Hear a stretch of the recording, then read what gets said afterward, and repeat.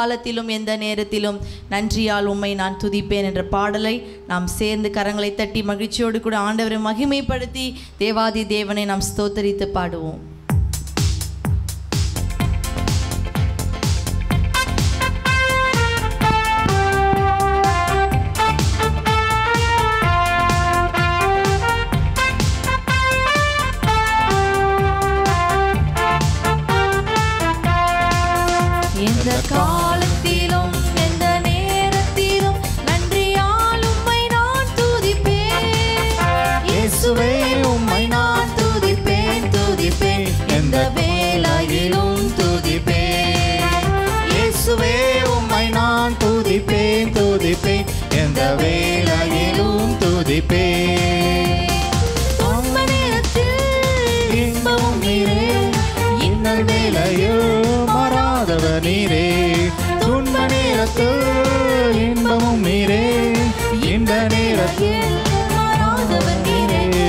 காலத்திலும் எந்த நேரத்திலும் நன்றியால் நான் துதிப்பேன். இயேசுவே உம்மை நான் துதிப்பேன் துதிப்பேன். எந்த வேலையிலும் துதிப்பேன். இயேசுவே உம்மை நான் துதிப்பேன் துதிப்பேன். எந்த வேலையிலும் துதிப்பேன். ஆதியும் நீரே அந்தமும் நீரே. ஜோதியும் நீரே என் சொந்தமும் நீரே ஆதியும் நீரே அந்தமும் நீரே ஜோதியும் நீரே என் சொந்தமும் நீரே. எந்த காலத்திலும் எந்த நேரத்திலும் நன்றியால் உம்மை நான் துதிப்பேன்.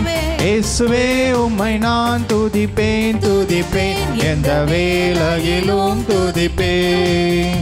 இயேசுவே உம்மை நான் துதிப்பேன் துதிப்பேன். எந்த வேளையிலும் துதிப்பேன் தாய் தந்தை நீரே தாயும் நீரே தாவரம் நீரே என் தாரகம் நீரே.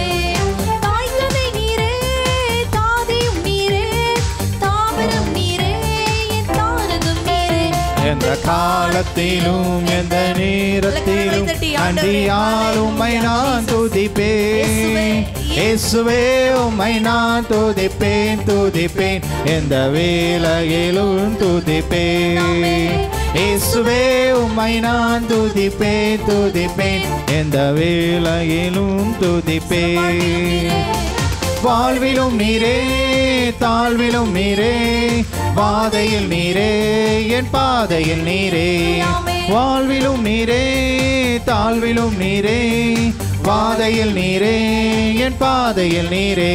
அந்த காலத்திலும் எந்த நேரத்திலும் நன்றியால் உம்மை நான் துதிப்பேன். இயேசுவே உம்மை நான் துதிப்பேன் துதிப்பேன். எந்த வேலையிலும் துதிப்பேன். இயேசுவே உம்மை நான் துதிப்பேன் துதிப்பேன். எந்த வேலையிலும் துதிப்பேன். இயேசுவே உம்மை நான் துதிப்பேன் துதிப்பேன். எந்த வேலையிலும் துதிப்பேன். துன்ப நேரத்தில் இன்பமும் நீரே. இன்னல் வேளையில் மாறாத துன்ப நேரத்தில் இன்பமும் நீரே.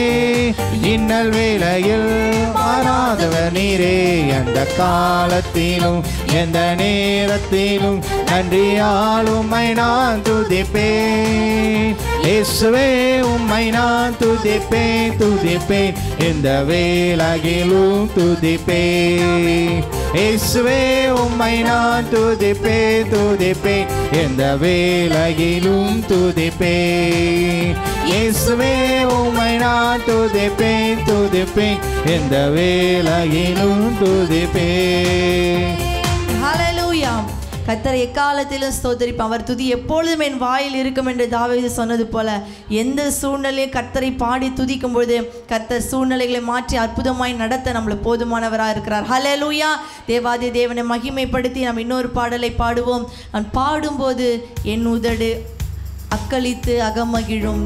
அவர் மீட்டுக்கொண்ட ஆத்துமா கர்த்தரை பாடி ஸ்தோத்தரிக்கும் என்ற பாடலம் கரங்களை தட்டி சேர்ந்து மகிமைப்படுத்தி ஆண்டவருடைய நாமத்தை நாம் உயர்த்துவோம். கர்த்தர் நல்லவர்.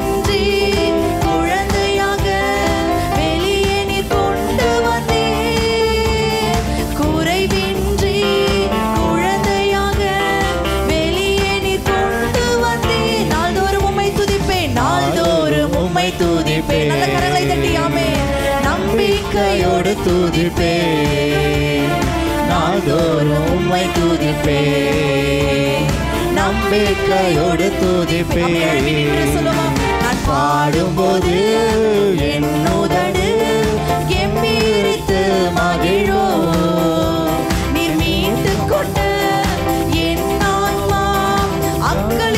அகமாகி நான் பாடும்போது என் முதடு எம்பிடுத்து மகிழோ மீட்டு கொண்ட என் ஆன்மா அக்களித்து அகமகிழோ நான் பாடும்போது என் உதடு எம்பேரத்து மகிழோ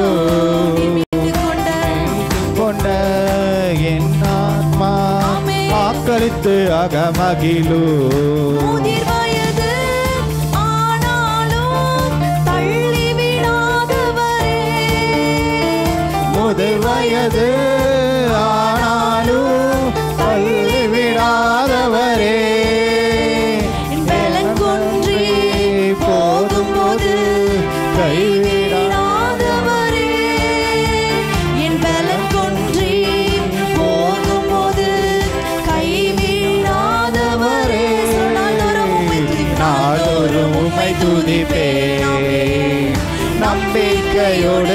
துதிப்பே நாதூரு உம்மை துதிப்பே நம்பிக்கையோடு துதிப்பே நான் பாடும்போது என் உதடு கெம்பீரத்து மகிழு நீ மீட்டு கொண்ட என் ஆன்மா அக்கழுத்து அகமகிழு பாடும்போது நீ பாடும்போது என் உதடு கெம்பீரித்து மகிழு நீ மீட்டு கொண்ட என் ஆத்மா அக்களித்து அக மகிழும். பாடும்போது என் உதடு கெம்பீரித்து மகிழு ஆமே, நீ மீட்டு கொண்ட என் உதடு அக மகிழும்.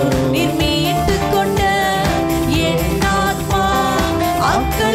அக்களித்து மகிழோ நான் பாடுவேன் நான் துதிப்பேன் இரவு பகல் என் நேரமும் சொல்வான் நான் பாடுவேன் நான் துதிப்பேன் இரவு பகல்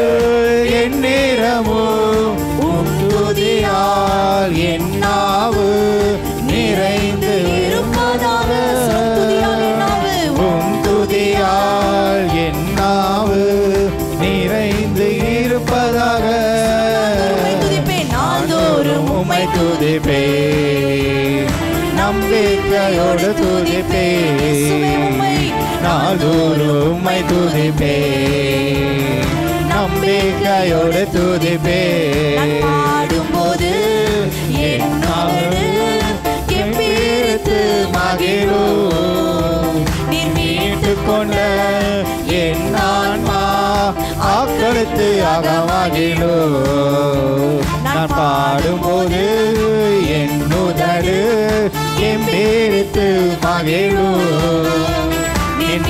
மீட்டு கொண்ட என் ஆன்மா ஆக்களித்து அகமகிழு நீ மீட்டு கொண்ட என் ஆன்மா அக்களித்து அகமகிழோ நீர் மீட்டு கொண்ட என் ஆத்மா அக்களித்து அகமகிழோ நாள்தோறும் உம்மை துதிப்பே சொல்ல நம்பிக்கையோடு. நம்பிக்கையோடு துதிப்பே நாள்தோறும் உம்மை துதிப்பே.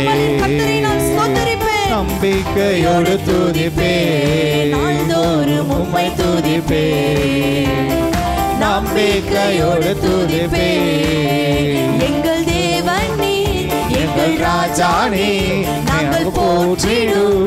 எங்கள் மலையும் நீ எங்கள் தேவன் நீர் எங்கள் ராஜா நீர் எங்கள் ராஜா நீ ராஜா எங்கள் எங்கள் தேவன் நீர் எங்கள் ராஜா நீர் எங்கள் போற்றிடும் எங்கள் கண்மலையும். நீ எங்கள் தேவன் நீர் எங்கள் ராஜா நீர் நாங்கள் போற்றிடும் எங்கள் கண்மலையும். நீ சொல்லுமாப்பா நீர் எங்கள் தேவன் நீர் எங்கள் ராஜா நீர் எங்கள் கண்மலை.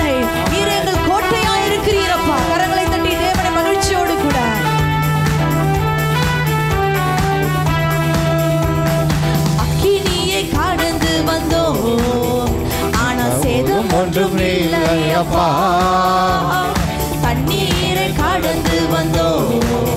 நாங்கள் மூழ்கி போகவில்லை அப்பா உங்க கிருபை எங்களை விட்டு இமை பொழுதும் விலகலப்பா. உங்க கிருபை எங்களை விட்டு இமை பொழுதும் விலகலப்பா. எங்கள் தேவனி எங்கள் ராஜா நீ நாங்கள் போற்றிடும் எங்கள் கண்மலையும் எங்கள் தேவன் நீர் எங்கள் ராஜா நீ நாங்கள் போற்றிடும் எங்கள் கண்மலையும் தேவன் நீர் எங்கள் ராஜா நீ நாங்கள் போற்றிடும் எங்கள் கண்மலையும் எங்கள் தேவன் நீர் எங்கள் ராஜா நீ நாங்கள் போற்றிடும் எங்கள் கண்மலையும் செங்கடலை செம்மையான பாதை தந்தி.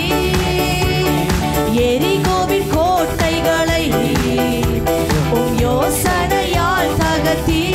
So, செங்கடலை செங்கடலை நீர் பிளந்து. செம்மையான பாதை தந்தி. செம்மையான பாதை தந்தி. எரிகோவின் கோட்டைகளை எரிகோவின் எல்லாவற்றையும் அவர் நிர்மூலமாக்குகிற தேவன். கோஷங்களை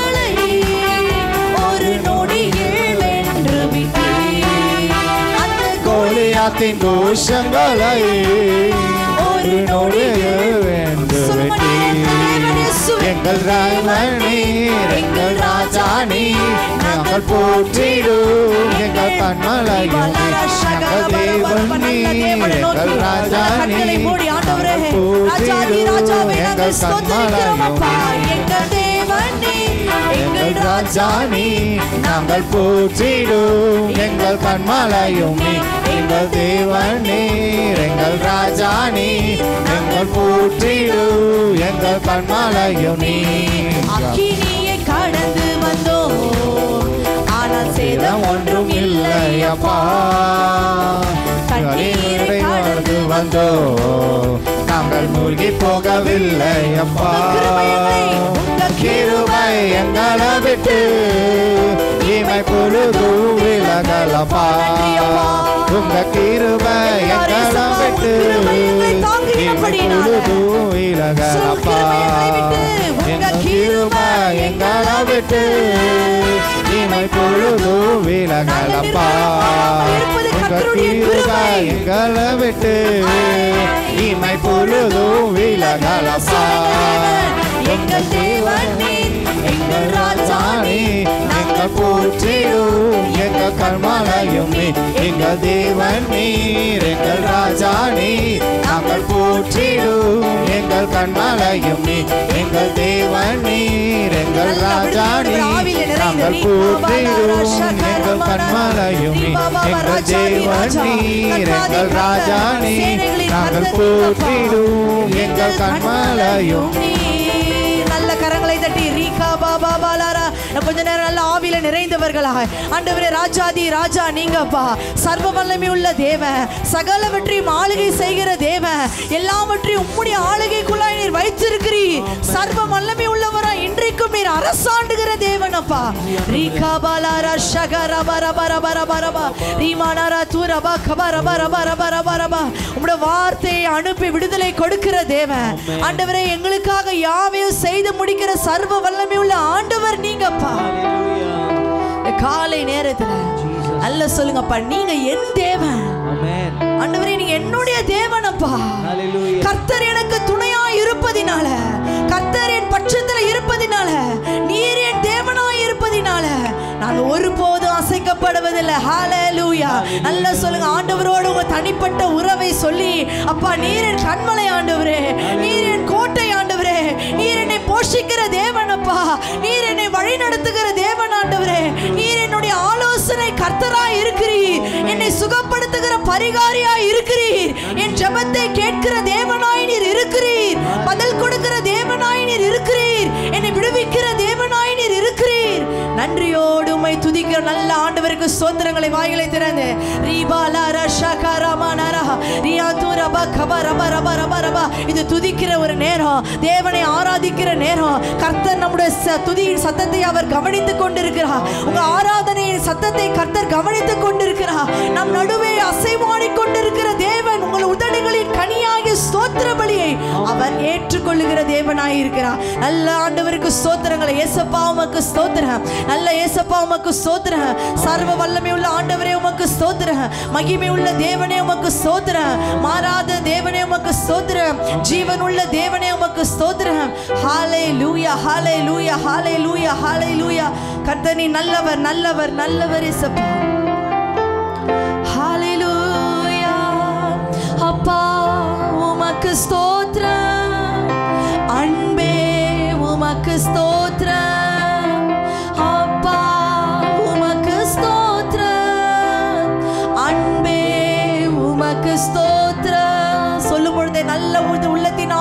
ஆழத்திலிருந்து ஏசப்பா நீர் செய்திருக்கிற எல்லா தயவுக்காக நீர் பாராட்டி இருக்கிற எல்லா இரக்கங்களுக்காக நீர் எங்க மேல வைத்திருக்கிற உடைய மகா பெரிய அன்புக்காக அப்பா உமக்கு ஸ்தோத்ர அன்பே உமக்கு ஸ்தோ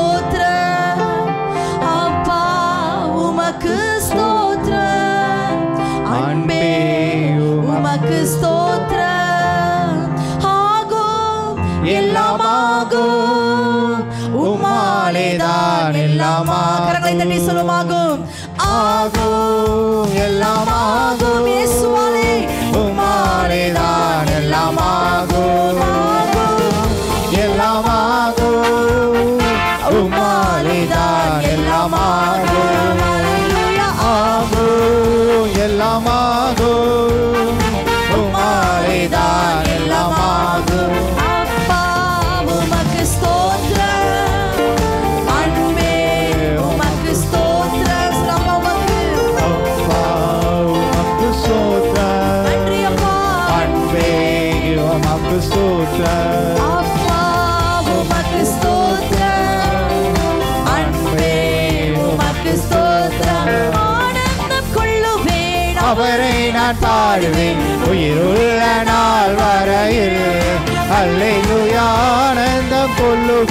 அவரை நான் பாடுவேன். உயிருள்ள நாள் அல்லேலூயா. ஆனந்தம் கொள்ளுவேன். அவரை நான் பாடுவேன். உயிருள்ள நாள் வரையில் நல்ல கரங்களை தட்டி ஆண்டவருக்கு ஸ்தோத்திர பலிகளை செலுத்தி நல்ல துதிகளை செலுத்தி. ஹalleluya.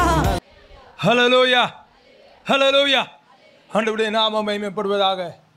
ஆண்டவர் வாக்கு மாறாதவராய் இன்றைக்கு நம்முடைய மத்தியில் இருக்கிறார் ஆமென். ஹலலூயா நிச்சயமாக இன்றைக்கு நம்முடைய வாழ்க்கையில் ஆண்டவர் பெரிய காரியத்தை செய்ய போகிறார். மேன் ஆண்டவருடைய நாமம் மயமைப்படுவதாக இந்த வருடத்தின் வாக்குத்தத்தம் நம்மளுக்கு எல்லாருக்கும் தெரியும். என்ன என்று நம்ம சொல்லுவோமா? இஸ்ரவேலின் ராஜாவாகிய கர்த்தர் உன் நடுவில் இருக்கிறார்.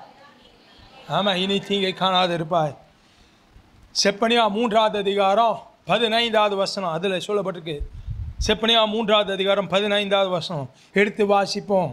ஒருவர் கர்த்தர் உன் ஆக்கினைகளை அகற்றி கர்த்தர் உன் நாக்கினைகளை அகற்றி உன் சத்துருக்களை விலக்கினார். உன் சத்துருக்களை விலக்கினார். இஸ்ரவேலின் ராஜாவாகிய கர்த்தர் இஸ்ரவேலின் ராஜாவாகிய கர்த்தர் உன் நடுவிலே இருக்கிறார். உன் நடுவிலே இருக்கிறார். இனி தீங்கை காணாதிருப்பார். இனி தீங்கை காணாதிருப்பாய் ஆமென் இதில் ஒரு பதம் ஒரு வார்த்தை. மறுபடியுமாய் மறுபடியுமாய் வந்து கொண்டே இருக்கிறது. என்ன வார்த்தை? அமேன் உன் அமேன் உன் ஆக்கினைகளை அகற்றினார். அதுக்கப்புறம் உன் சத்துருக்களை விளக்கினார். அமேன் இஸ்ரவேலின் தேவனாகிய கர்த்த ராஜாவாகிய கர்த்த உன் நடுவில் இருக்கிறார். ஆண்டவர் பேசுகிறதெல்லாம் இன்னைக்கு பேசுகிறார் என்று அது உங்களுக்கு ஆண்டவர் பேசுகிறார். அமேன் ஆலோயா இந்த வருடத்தின் வாக்கு தத்தத்தை மறுபடியுமாய் உறுதி செய்யும் விதமாக இன்றைக்கு ஆண்டவர் நம்மளோடு உங்கள் ஒவ்வொருவரோடும் ஆண்டவர் பேசி கொண்டிருக்கிறார். ஆமென்.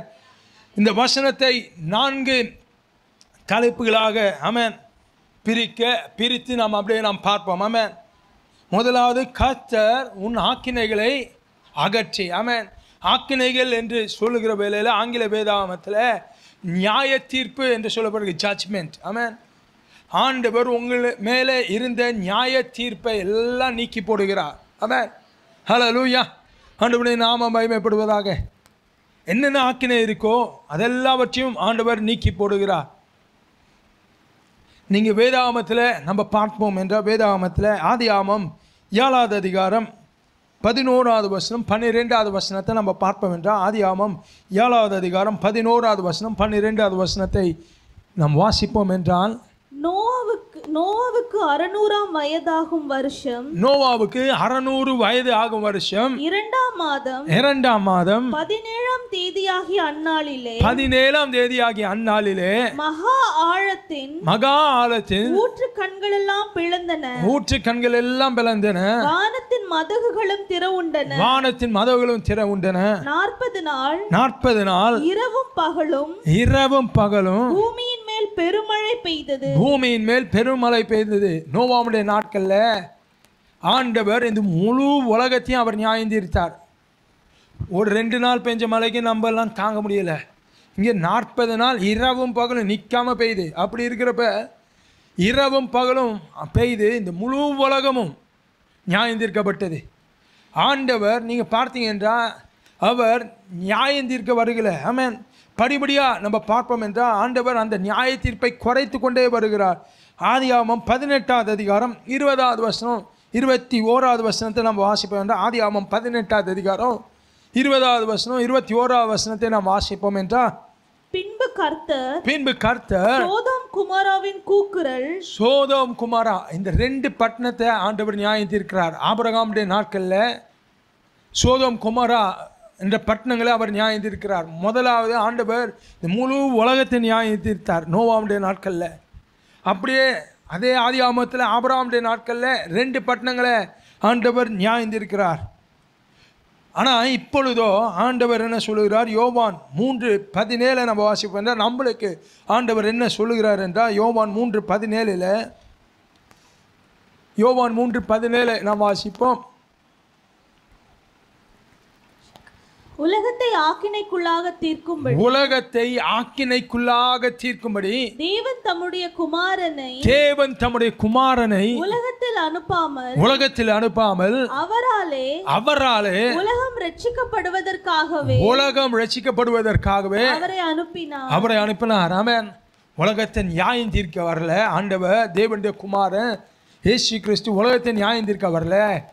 உலகத்தின் பாவங்களை சுமந்து தீர்க்க தேவ ஆட்டுக்குட்டியாக உலகத்தின் பாவங்களை மன்னிக்கிறவராக ஆண்டவர் இறங்கி வந்தார். கரங்களை வியார்த்தி ஹலலூயா ஆண்டவருடைய நியாயம் நாம் மகிமைப்படுவதாக.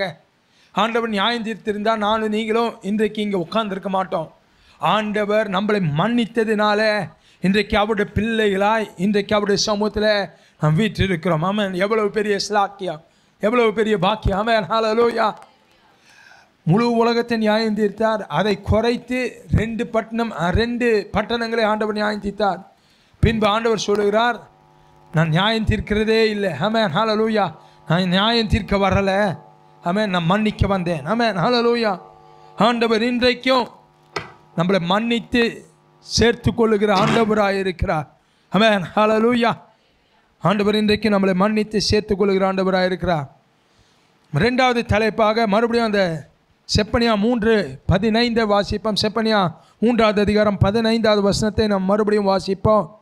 கர்த்தர் உன் ஆக்கினைகளை அகற்றி கர்த்தர் உன் ஆக்கினைகளை அகற்றி. உன் சத்துருக்களை விலக்கினார். எப்படி போடப்பட்டிருக்கு? ரெண்டாவது உன் சத்துருக்களை விலக்கினார். முதலாவது ஆக்கினைகளை அகற்றினார். ஆக்கினைகளை அகற்றினார் என்று சொல்லுகிற வெள்ள அவைகளில் இதையும் சேர்த்துக் கொள்கிறேன் தலைமுறை தலைமுறையாக குடும்பம் குடும்பமாக சாபங்கள் நிறையா வருகிறது. அதை எல்லாவற்றையும் ஆண்டவர் இன்றைக்கு அகற்றுகிறார். ஆமாம் அவை எல்லாவற்றையும் ஆண்டவர் அகற்றுகிறார். அந்த நியாய தீர்ப்பெல்லாம் ஆண்டவர் அகற்றி விடுகிறார். ஆமென். இனிமே அது தொடராது. இனிமே அது ஆமென். ஹalleluya. நம்மளை பற்றி பிடிக்காது அந்த நியாய தீர்ப்பு பற்றி பிடிக்காது ஆமென். ஹalleluya. மறுபடியுமா அந்த வசனத்தை அவசியம் கத்தர் உன் ஆக்கினைகளை அகற்றி உன் சத்துருக்களை உன் விலக்கினார் சத்துருக்களை விலக்கினார் விளக்கினார். ஆமென். சத்துருக்களை விளக்குகிறார். ஆமாம் விளக்குறதுன்னா ஒரு பெரிய அதிகாரியோ பெரிய விஐபி வரும்போது வழிபடுங்க வழிபடுங்க ஒரு பெரிய ஆள் வராங்க என்று சொல்லுகிற அப்பனா விளக்கி நம்மளுக்கு பாதை உண்டு பண்ணுகிற ஆமென். சத்ருவை விளக்குகிறதுனா ஆண்டவ. ஆமென். ஹalleluya. சத்ருவை ஓரங்கட்டுறார் ஆமென். தள்ளி விடுகிறார். ஆமென். இனி சத்ருவை நம்ம முன்னாடி நிற்க முடாமல் பண்ணுகிறார். ஆமென். ஹalleluya ஆதியாமம் மூன்றாவது அதிகாரம் பதினைந்தாவது வசனத்தை நம்ம வாசிப்போம் என்றால் ஆதியாமம் மூன்றாவது அதிகாரம் பதினைந்தாவது வசனத்தை நம்ம வாசிப்போம் என்றால் உனக்கும் ஸ்திரீக்கும் உனக்கும் ஸ்திரீக்கும் உன் வித்துக்கும் அவள் வித்துக்கும் உன் வித்துக்கும் அவள் வித்துக்கும் பகை உண்டாக்குவேன். பகை உண்டாக்குவேன். அவர் உன் தலையை நசுக்குவார். அவர் உன் தலை நசுக்குவார். நீ அவர் குதிங்காலை நீ நசுக்குவார் அவர் குதிங்காலை நசுக்குவார். ஆதி ஆகமத்திலே ஆண்டவர் அவருடைய ரட்சிப்பின் திட்டத்தை சொல்லியிருக்கிறார். சத்ருவை எப்படி விளக்கப் போகிறேன் என்பதை ஆண்டவர் அமேன் அவர் சொல்லியிருக்கிறார். ஆதி ஆமத்திலே ஆரம்பத்திலே அவருடைய திட்டத்தை வெளிப்படுத்தி இருக்கிறார் உனக்கும் ஸ்திரீக்கும் உன் வித்துக்கும் அவள் வித்துக்கும் பகை உண்டாக்குவேன். அவர் உன் தலையை நசுக்குவார். ஆண்டவர் அப்போவே திட்டிட்டார் அப்போவே செய்து முடித்திட்டார். தலையை நசுக்கிட்டார். அமேன் ஹalleluya. தலை இல்லாத இடத்துல சரீரத்தில் உயிர் இல்லை. அமேன் உயிர் இல்லை. அதனால் பிசாசுக்கு உயிர் இல்லை. அவன் உயிர் இல்லாத ஆனாலும் கெட்சிக்கிற சிங்கம் போல அவன் சிங்கம் கிடையாது. யூதராஜ சிங்கம் இருக்கிறார். ஆமென் ஹலலூயா சத்ருவை விளக்கிட்டார். ஆமென் ஹலலூயா இங்கே ஏசாயா ஐம்பத்தி ஒன்பதாவது அதிகாரம் பத்தொம்போதாவது வசனத்தை நீங்கள் வாசித்தீங்கன்னா இன்னும் ரொம்ப அருமையாக அந்த வசனம் சொல்லுகிறது. ஏசாயா ஐம்பத்தி ஒன்பது பத்தொம்போதை நம்ம வாசிப்போம் என்றால்? அப்பொழுது சூரியன் அஸ்தமிக்கும் அதோடைய கடைசி பகுதியை வாசிப்போம். ஏசாயா ஐம்பத்தி ஒம்பது பத்தொம்போதுடைய கடைசி பகுதியை நாம் வாசிப்போம். வெள்ளம் போல் சத்துரு வரும்போது வெள்ளம் போல சற்று வரும் பொழுது கர்த்தருடைய ஆவியானவர் கர்த்தருடைய ஆவியானவர் அவனுக்கு விரோதமாய் கொடியேற்றுவார். அவனுக்கு விரோதமாக கொடியேற்றுவார். கரங்களை உயர்த்தி. எனக்கு விரோதமா? எவ்வளவு பெரிய பிரச்சனை வந்தாலும் சத்துரு எப்படி வந்தாலும் கத்த அவனுக்கு விரோதமாக கொடியேற்றுவார். ஆமென். ஹalleluya. அன்றபடி நாம மகிமைப்படுவதாக. இந்த வசனத்தை ஆமென் இன்னும் எப்படி சொல்லலாம் என்று சொன்னால் சத்ரு உங்களுக்கு எதிராக வந்து யுத்தம் பண்ண ஆரம்பிக்கிறான். ஆனால் கத்த சொல்கிறார் யுத்தம்லாம் முடிஞ்சு போச்சு. வெற்றி கொடியை நான் ஏற்றிட்டேன் ஆமாம் சத்ரு வந்து உங்களுக்கு முன்பாக நின்று அப்போனா நான் புதுசாக சண்டையை ஆரம்பிக்கிறேன். ஆமேன்.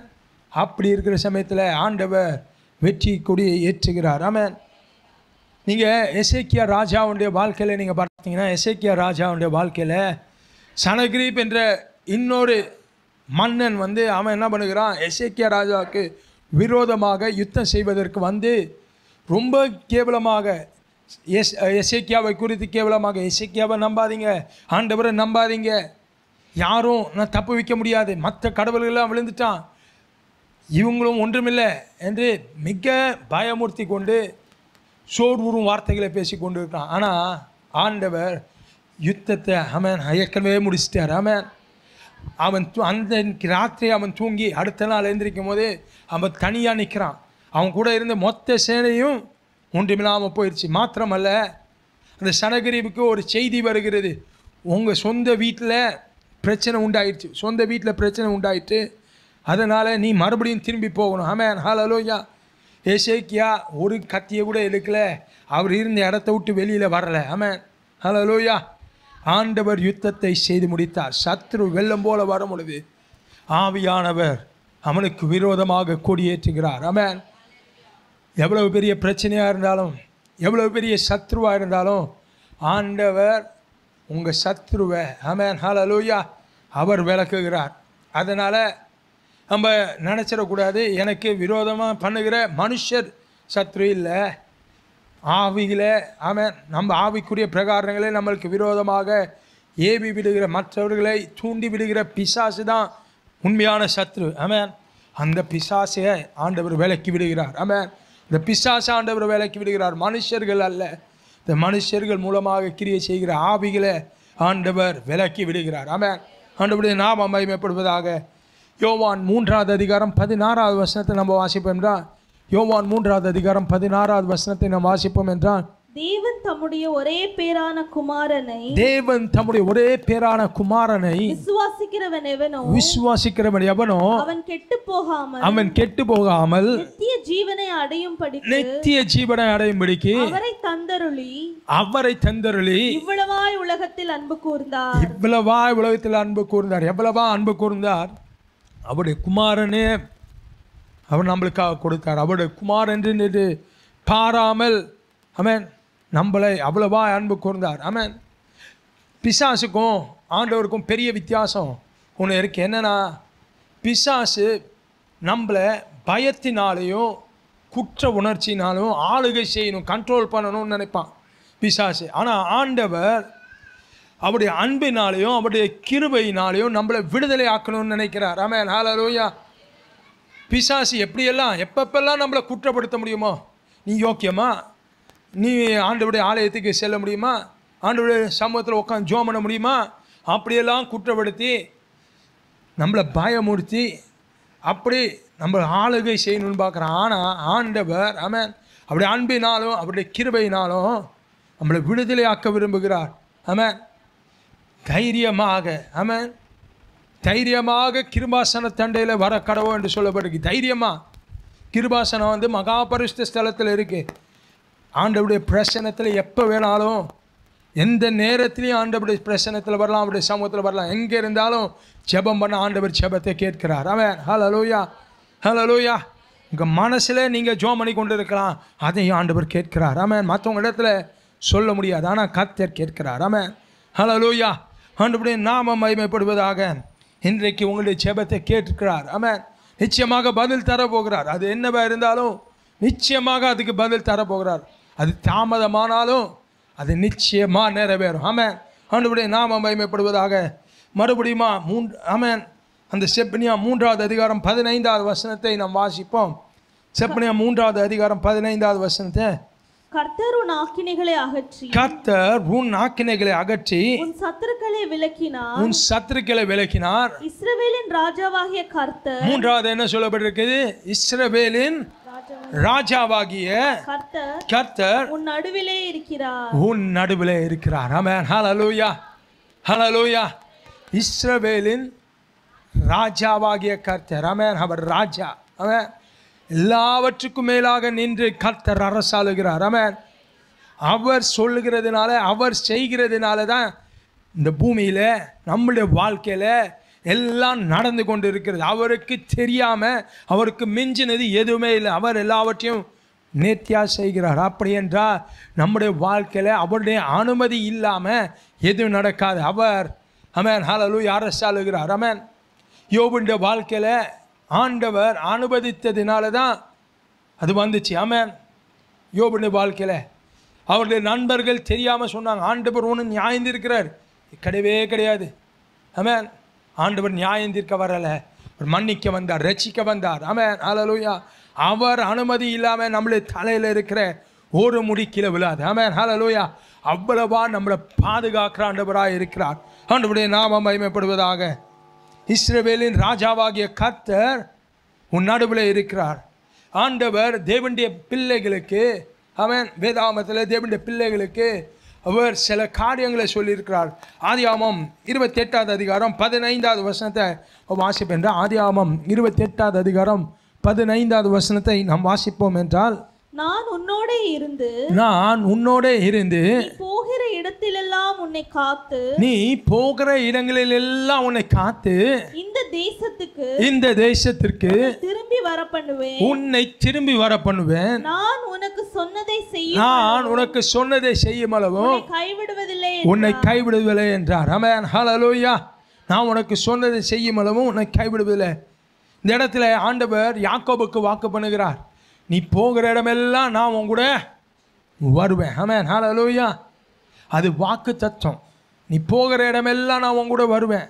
ஆமாம் அது வாக்கு தத்துவம். ஆண்டவர் நம்ம போகிற இடமெல்லாம் வருகிறார். ஆமாம் மாத்திரமல்ல யோசுவா ஒன்றாவது அதிகாரம் ஐந்தாவது வசனத்தை நம்ம பார்த்தோம் பார்த்தோம் என்றால் யோசுவா ஒன்றாவது அதிகாரம் ஐந்தாவது வசனத்தை நம்ம பார்ப்போம் என்றால் நீ உயிரோடு இருக்கும் நாளெல்லாம் நீ உயிரோடு இருக்கும் நாளெல்லாம் ஒருவனும் உனக்கு முன்பாக எதிர்த்து நிற்பதில்லை. ஒருவன் உனக்கு முன்பாக ஏற்று நிற்பதில்லை. நான் மோசையோடு இருந்தது போல எப்படி சொல்லுகிறார்? நான் மோசையோட இருந்தது போல. இருந்தது போல உன்னோடும் இருப்பேன். உன்னோடு இருப்பேன். ஆமென் ஹalleluya இது உறுதிப்படுத்துகிறார். வாக்கு தத்தத்தை உறுதிப்படுத்துகிறார். முதலாவது யாக்கோவுக்கு சொன்னார் நீ போகிற இடமெல்லாம் நான் உன் கூட வருவேன். அது வாக்கு தத்தம். இப்போ யோசுவாக்கு சொல்கிறார் நான் மோசையோட எப்படி இருந்தேனோ அதே போல் நான் உன் கூட திருப்பி வருவேன். அதே போல் நான் வருவேன். உன் கூட இருப்பேன். அது வாக்கு தத்தத்தை ஆண்டவர் உறுதிப்படுத்துகிறார். ஆனால் இந்த நாட்களிலே ஆண்டவர் நம்மளுக்கு என்ன சொல்லுகிறார்? யோவான் பதினான்காவது அதிகாரம் இருபதாவது வசனத்தை வாசிப்போம். யோவான் பதினான்காவது அதிகாரம் இருபதாவது வசனத்தை நாம் வாசிப்போம். நான் என் பிதாவிலும் நான் என் பிதாவிலும் நீங்கள் என்னிலும் நீங்கள் என்னிலும் நான் உங்களிலும் இருக்கிறதை நான் உங்களிலும் இருக்கிறதை உங்களில் இருக்கிறேன். ஆமென் ஹalleluya நான் உங்களில் இருக்கிறதை அந்நாளிலே நீங்கள் அறிவீர்கள். அந்நாளிலே நீங்கள் அறிவீர்கள். எந்நாளிலே கத்தர் நம்மளுக்காக ஜீவனை விட்டு அந்நாளிலே. ஆமென் கத்தர் நம்மளுக்காக எதையும் செய்ய துணிகிற ஆண்டவர். ஆமென் ஹalleluya நான் உங்களுக்குள்ளே இருக்கிறேன். அமேன் ஹலலூயா ஆண்டவர் சொல்லுகிறார். அமேன் ஹலலூயா யாக்கோபா பார்த்து சொன்னால் நீ போகிற இடமெல்லாம் நான் இருப்பேன். யோசுவா பார்த்து சொல்லுகிறார் மோசையோடு இருந்தது போல் நான் உங்க கூட இருப்பேன். ஆனால் இன்றைக்கு நம்மளை பார்த்து சொல்லுகிறார் நான் உங்களுக்குள்ளே இருக்கிறேன். அமேன் ஹலலூயா நம்ம ஒவ்வொருவருக்குள்ளேயும் ஆண்டவர் இருக்கிறார். அமேன் ஹலலூயா அது அங்கு அடையாளங்கள்.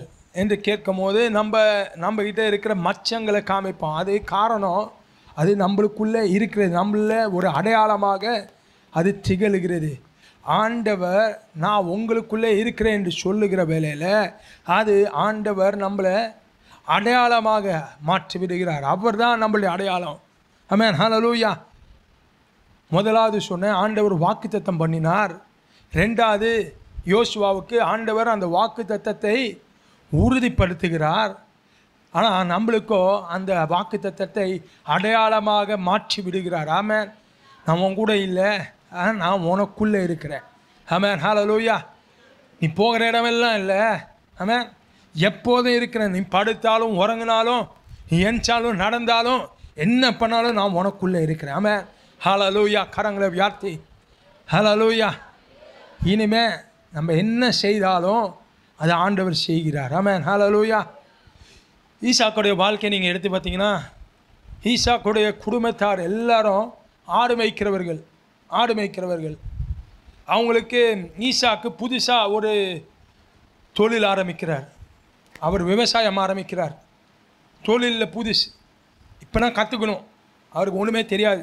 அப்படி இருக்கிற சமயத்தில் சூழ்நிலையை பார்க்குறார். நல்ல மழை காலமாக இருந்துச்சுன்னா நல்லா இருந்திருக்கும். ஆனால் நல்ல பஞ்சம். நல்ல பஞ்சமாக இருக்குது அப்படி இருக்கிற சூழ்நிலையில் கத்தர் ஈசாக்குள்ளே இருந்தார். கத்தர் ஈசாக்கோடு இருந்தார். அவன் அந்த வருஷத்தில் குறிப்பிட்ட விதமாக அந்த வருஷத்தில் என்று சொல்லப்பட்டிருக்கு. அந்த வருஷத்தில் அவன் நூறு மடங்கு. ஆமாம் இப்போ நான் கற்றுக்கொண்டு இருக்கிறான் சூழ்நிலை மோசமாக இருக்குது ஆனாலும் கத்தர் அவனோட இருக்கிறா அப்படி என்று சொல்லுகிற வேலை அவன் நூறு மடங்கு?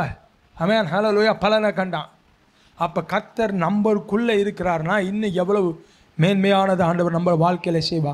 கூட இருக்கிற ஆண்டவர் நம்மளுக்குள்ளே இருந்து கிரியை செய்கிறார். ஆமாம் ஹலலூயா ஆண்டவுடைய நாம மயமைப்படுவதாக மறுபடியும் அந்த செப்பனியா மூன்றாவது அதிகாரம் பதினைந்தாவது வசனத்தை நம்ம வாசிப்போம். கர்த்தர் உன் ஆக்கினைகளை அகற்றி கர்த்தர் உன் ஆக்கினைகளை அகற்றி உன் சத்துருக்களை விலக்கினார் உன் சத்துருக்களை விலக்கினார் இஸ்ரவேலின் ராஜாவாகிய கர்த்தர் இஸ்ரவேலின் ராஜாவாகிய கர்த்தர் உன் நடுவிலே இருக்கிறார். உன் நடுவிலே இருக்கிறார். இனி தீங்கை காணாதிருப்பார். நான்காவது என்ன சொல்லப்பட்டிருக்கு? இனி தீங்கை காணாதிருப்பாய். ஆமென். இனி தீங்கை காணாதிருப்பாய். ஆங்கில வேதாகமத்தில் இவ்விதமாக சொல்லுகிறது. இனி தீங்குக்கு பயப்படாதிருப்பாய். You shall not fear evil anymore இனி தீங்குக்கு பயப்படாதிருப்பாய்.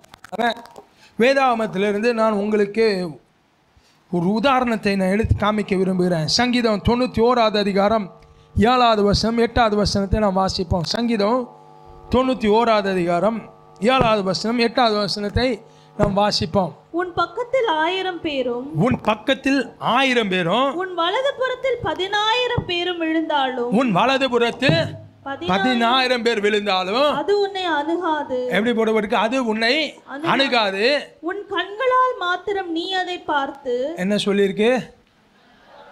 கண்களால் பார்ப்பீங்க. தீங்க பார்ப்பீங்க. ஆனால் தீங்குக்கு பயப்பட மாட்டீங்க. காரணம் கர்த்தர் உங்களுக்குள்ளே இருக்கிறார். அவன் கத்தர் ஹமேன் ஹலலூயா சத்ருவை விலக்கிட்டாரு. அவன் ஹலலூயா சத்ருவை விலக்கிட்டாரு. அவர் முன்னாடி வந்து நின்றுட்டார் அமேன் அவர் உங்களுடைய அடையாளமாக மாறிட்டார். அமேன் ஹலலூயா இனி தீங்க பார்த்தீங்கன்னா கூட நீங்கள் பயப்படாமல் இருப்பீங்க. உங்களுக்கு விரோதமாக அமேன் போட்டியின் காரணமாக மந்திரங்கள் தந்திரங்கள் செய்யலாம். அதெல்லாம் பார்ப்பீங்க. உங்கள் முன்னாடி பார்ப்பீங்க. ஆனால் அதுக்கு பயப்படாமல் இருப்பீங்க. காரணம் கத்தர் இருக்கிறார். அதை விட பெரியவர் அவர் இருக்கிறார். அவன் அவர் சர்வ வல்லமையில தேவன். அவன் ஹalleluya அவரால் செய்ய முடியாத காரியம் ஒன்றுமே இல்லை. அவன் நிறைய நேரத்தில் நம்ம ஜெபிக்கிறது என்னென்னா ஆண்டவரே என் வாழ்க்கை நல்ல ஸ்மூத்தாக போகணும். நல்ல ஸ்மூத்தாக போகணும். ஒரு பிரச்சனை ஒரு சலசலப்பு ஒரு கலக்கம் எனக்கு வந்துடவே கூடாது. யாபேசில் ஜெபம் அதான். யாபேசில் ஜெபம். ஒன்று நாலாமம். நாலாவது அதிகாரம் பத்தாவது வசனம். ஒன்று நாலாமம் நாலாவது அதிகாரம் பத்தாவது வசனத்தை நம்ம எடுத்து நம்ம வாசிப்போம்.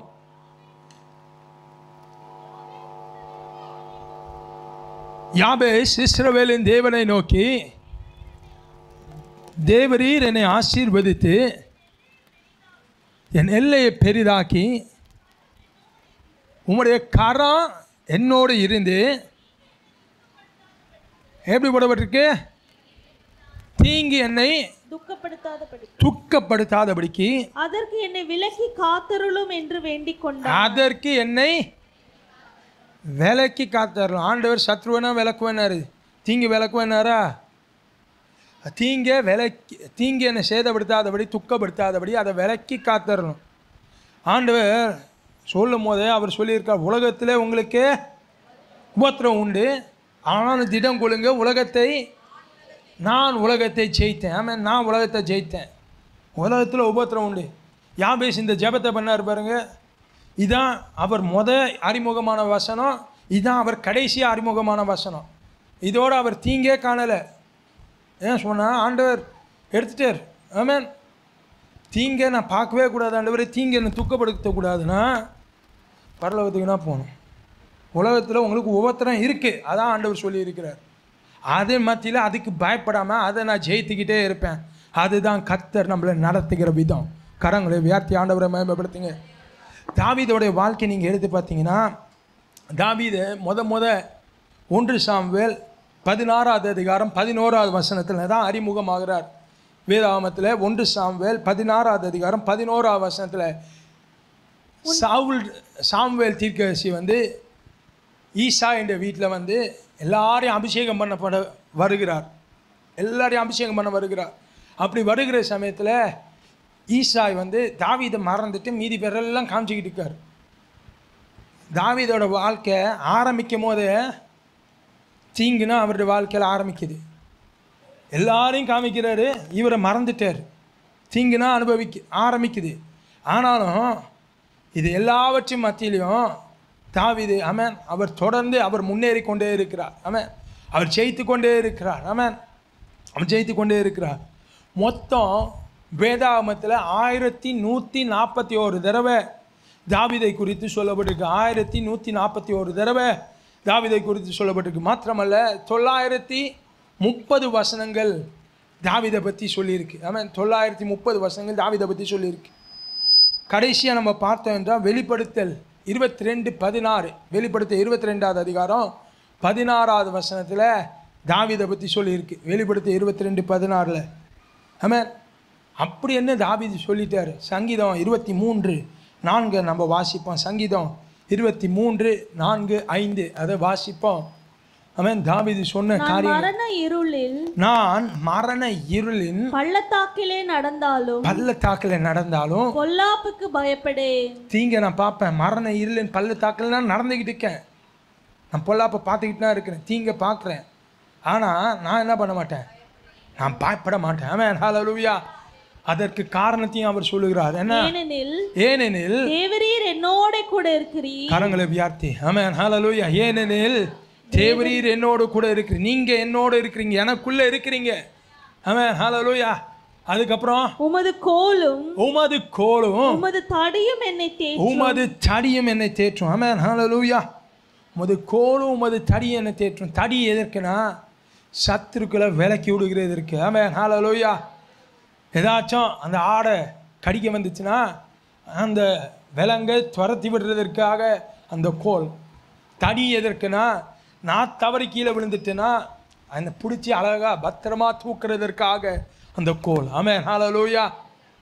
சாவிதோட விசுவாசம் பெருசு. ஆமென். ஹalleluya.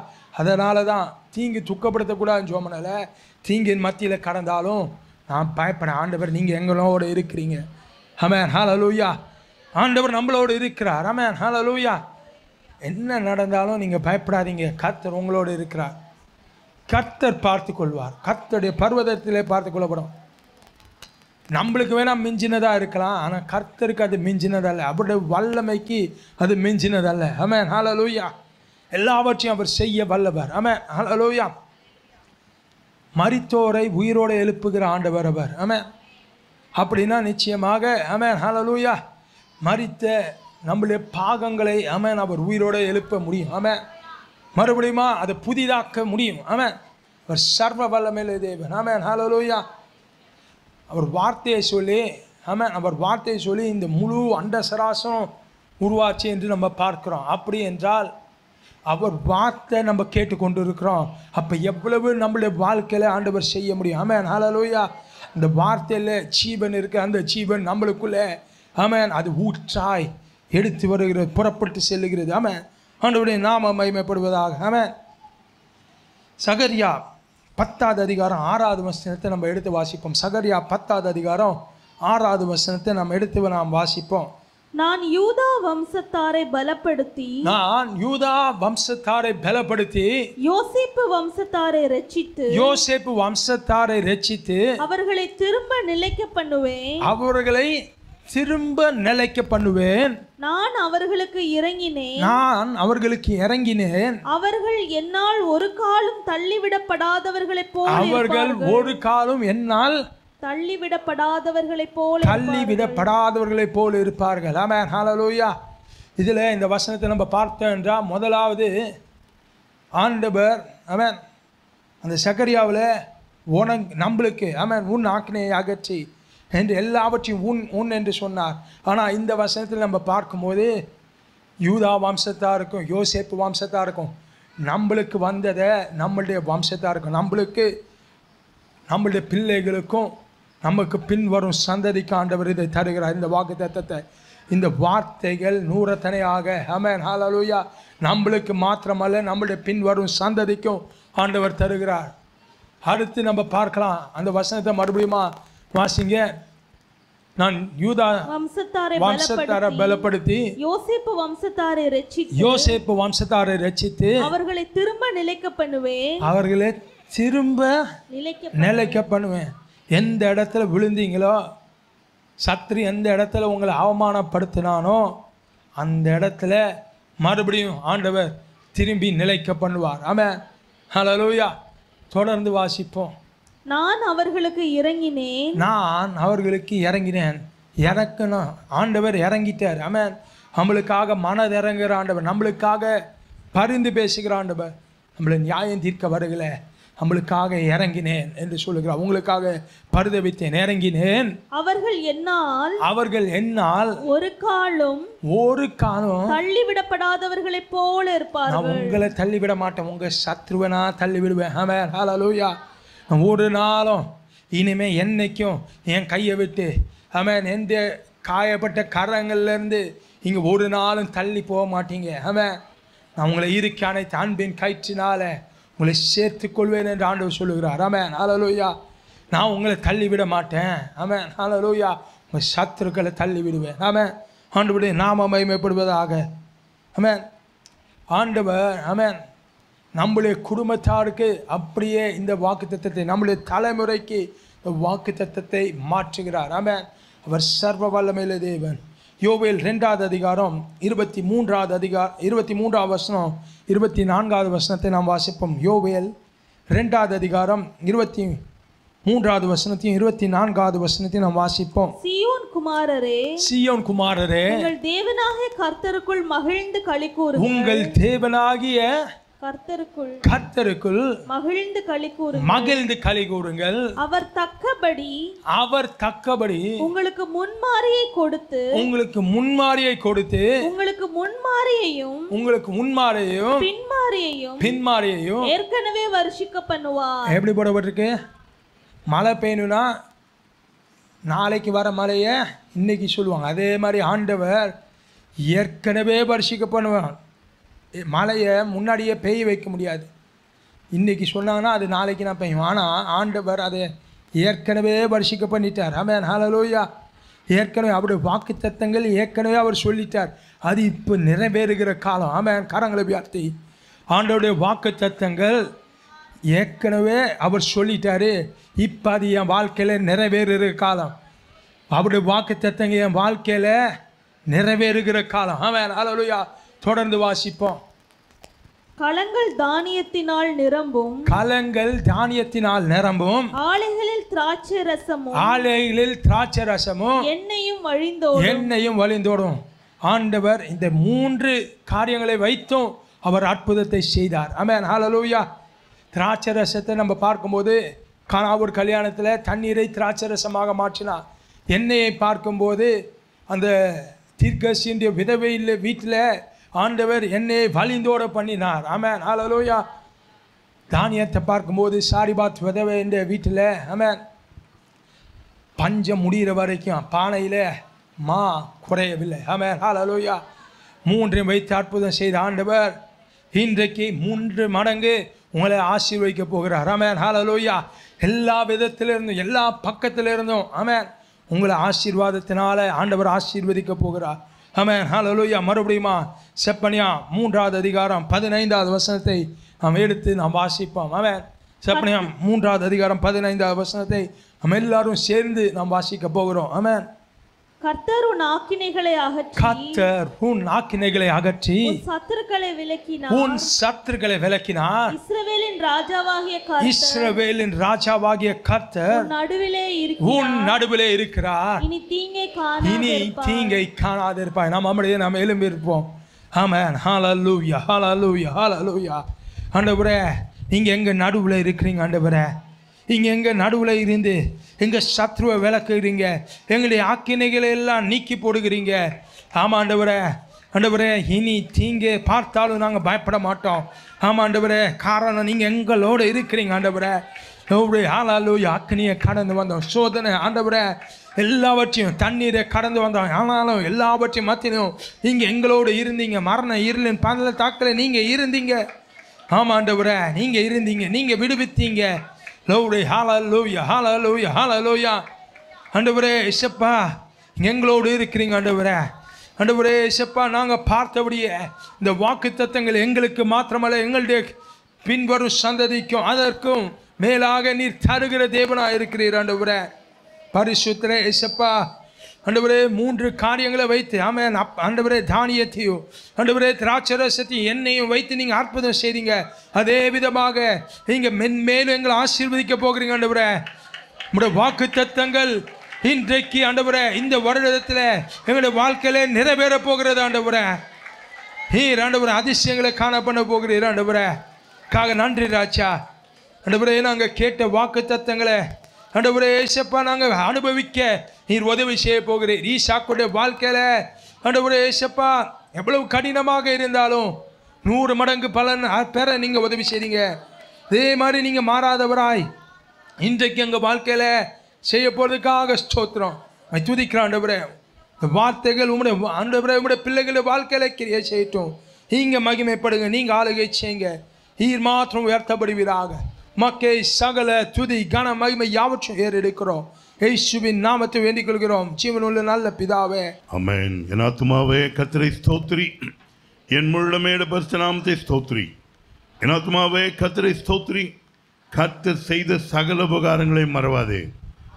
ஆமேன் ஆமேன் ஆமேன் ஆமேன் ஆமேன். நம்முடைய கர்த்தராகிய இயேசு கிறிஸ்துவின் கிருபையும் இதாவாகிய தேவனுடைய அன்பும் பரிசுத்தாவியானுடைய அந்யோனிய ஐக்கியமும் சிநேகமும் பாதுகாப்பும் வழிநடத்துதலும் நம் அனைவரோடும் உலகத்துடன் சகல பரிசுத்தவான்களோடும் இன்றும் என்றும் சதா காலங்களிலும் இருப்பதாக. ஆமேன் ஆமேன் ஆமேன் ஆமேன் ஆமேன். ஹalleluya ஹalleluya ஹalleluya. ஆமென் பிரைஸ் கதை ஸ்தோத்திரம்.